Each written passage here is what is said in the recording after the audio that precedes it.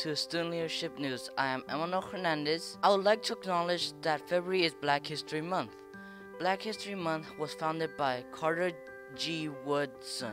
According to a shared article on USA Today by Nadea Yancey Bragg, Woodson recognized that the American education offered very little exposure to the accomplishments of African Americans, so he founded the Association for the Study of African American Life and History. In 1926, Woodson proposed that the nation dedicates a week to shine light on black heritage and culture. In 1976, President Ford expanded the week into a month in which now we recognize as Black History Month. Woodson believed that it is necessary to expose young African American and everyone really to the accomplishments of the black community to spark inspiration. With that said, leadership will attempt to learn how to best acknowledge and celebrate black history through our student news. Therefore, we invite anyone in the community to share ideas on how to properly do so. Thank you. Up next, we have Melissa with Valentine Grams and staff and student birthdays. Thank you, Emmanuel. Today we have a new event. This event is called the Yoka Community SWPBS Dragon Challenge. SWPBS means School Wide Positive Behavior Support. The Dragon Challenge will have one new goal every month. Here's an example. For the month of January, the skill or goal could be improvement in social skills. The way this will work is if a teacher notices a student expressing that month's topic, the teacher will write down their name on a piece of paper and at the end of the month, Mr. Gavan will be holding a raffle prize and whoever's name he pulls will win a prize. This month we are working on improvement and goal setting. Next is talent show.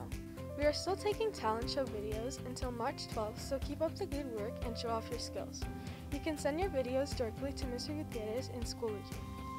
Thank you for all the Valentine Gram submissions. Our Google form has already closed. Unfortunately, we got some submissions without last names, so we did not know who to send them to. Other than that, please expect your grams to be received Friday, February 12th. Because we received over 120, please give us some time to deliver, possibly over the weekend.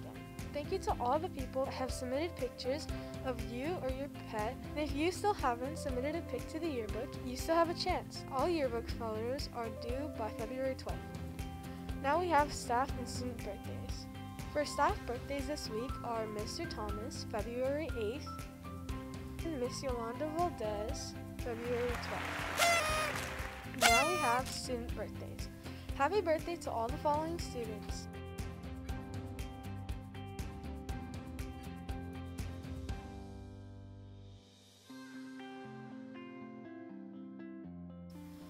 All of us at Leadership hope you had an awesome day.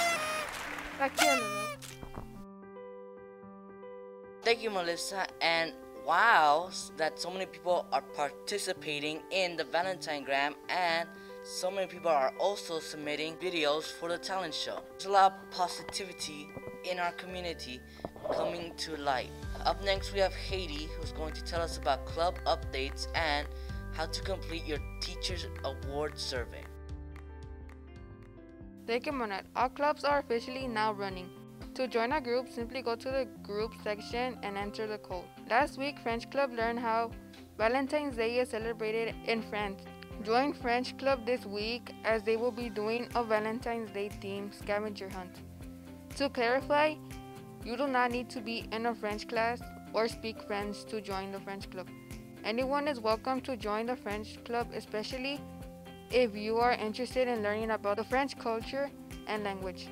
Even though SRLA is not meeting, you all should be running so that you stay in shape and ready by the time you return to practice with your team. That includes the alumni that are watching this and are also in SRLA. Here is this week's Art Hall of Fame.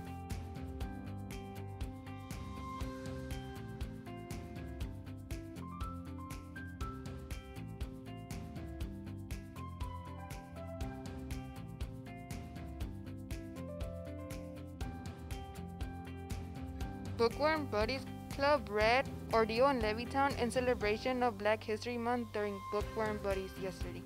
Ordeal in Levittown is about a newlywed couple overcomes the anti-African American sentiment in the community of Levittown.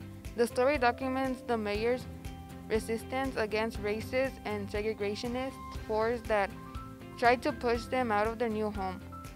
Although Levittown was a place where African Americans were not wanted, the Myers endured and showed their resilience and the power of will to combat racism. Living in Levittown was their form to protest. Reminder if you have not already done the Teacher Award Survey in advisory class, please complete it as soon as possible to support our yearbook team. Each grade level has their own survey to complete. That's it for me. Back to you, Emmanuel. Thank you, Katie, and I hope all of you have learned something from the clubs, and I hope all of you are able to complete the Teacher Award Survey.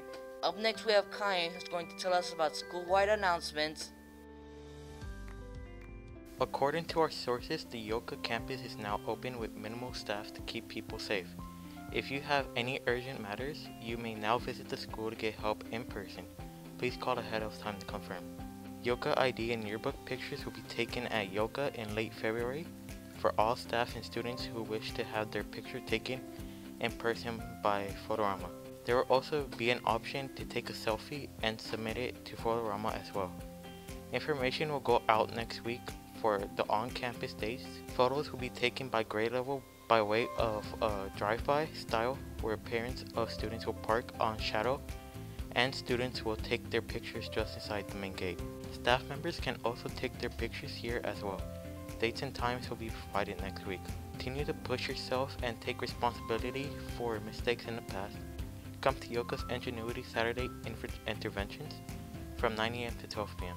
Over 30 students have completed Edgenuity courses that qualify for a possible grade change. Starting February 15th, teachers will be sent an Edgenuity course grade report for students who have completed a course. Teachers have the option of grading to a grade change from an F to a D, or better grade if they choose.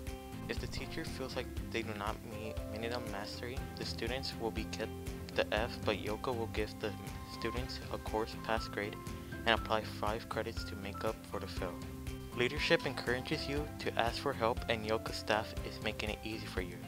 Remember, every teacher has 30 minutes of office power per day. Be whole group uh, tutoring from Tuesday to Thursday from 2.30 p.m. to 3.30 p.m. One-on-one tutoring will begin again for those who work better in a smaller setting. This will begin possibly late February. And that's for me. Back to you, Mano. Thank you, Kyan. And it's cool to see that we're still making things happen even in the virtual world.